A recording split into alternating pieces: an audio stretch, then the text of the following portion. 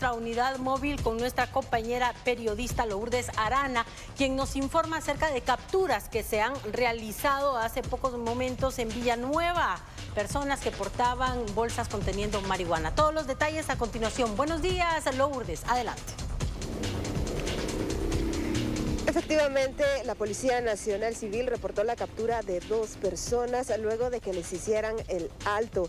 Esto pues teniendo en cuenta de que se les incautó bolsas de marihuana. En este sentido, las dos personas fueron identificadas como Johnny Natanael Calderón Castillo de 20 años y Carlos Manuel Flores Sánchez de 23. El lugar en donde se realizó la captura fue en la tercera avenida, séptima calle de la zona 5 de Villanueva. Al momento de realizarles el alto, pues se les consignó estas dos bolsas que fueron localizadas cuando se hizo la revisión correspondiente.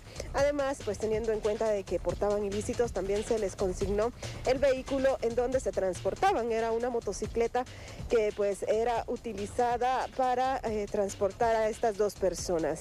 Por aparte también se les incautó dos celulares, los cuales pues fueron puestos a disposición de la justicia. Esto con el fin de determinar si ellos son distribuidores o compradores de ilícitos en este caso. Por otro lado, pues las personas fueron puestas a disposición del juzgado de Villanueva. Con este reporte yo retorno a Estudios Central.